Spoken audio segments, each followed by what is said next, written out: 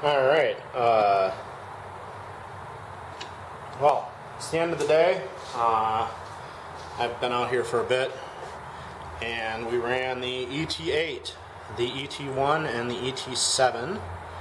Uh, the ET8 ran a whole lot better than it has. Um, with that fix I made on the carburetor, I think I'm going to try.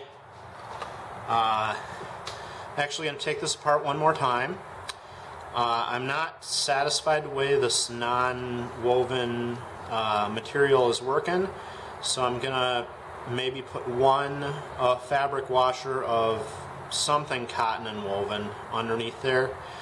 Uh, I'm also going to uh, double check that I get everything cleaned out really good uh, and I'll show the modification I made on this in more detail and talk about what I think happened and how I think it's working a lot better. Uh, also, when I put this back together, I'm going to Loctite this so it doesn't turn here and stays level.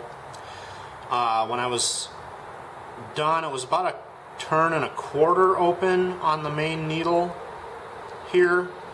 The main needle was about a quarter turn and a quarter open.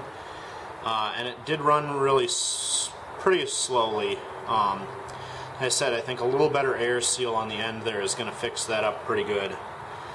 Uh, otherwise, it did rev pretty well. Uh, it only revved on the first half of the throttle response, opening it all the way up.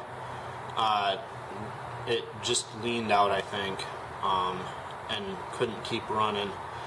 Uh, and that's, I think, a design with the carburetor, because the way this carb works, uh, I'll explain it more in a different video, but uh, this is a pretty simple high load speed carburetor design, so it's not it's not the greatest sometimes, but it definitely does the job and does it for a low price. Uh, yeah, the ET1 ran pretty nicely, um, started up pretty easily, um, and adjusted in okay. Uh, the ET7 here uh, just wants to run real rich. So it didn't take long to run through its tank of fuel. But uh, let's see. The ET8 made it almost an hour. The ET1 made it 45 minutes or an hour. The ET8 or ET7, 7 here, uh, made it half an hour or so. And the EM1 uh, started by hand again, uh, which I was really thrilled with. Uh, so that was nicely adjusted, and it went for half an hour, 45 minutes. Uh, and then it ran out of fuel, so I put a little bit more fuel in it and ran a little longer. Uh, so both times it quit today are on uh, film, but it, it ran very nicely the whole time. So after all the issues I had when I initially got that EM1, it's always really nice to have it running really well. So, uh, yeah.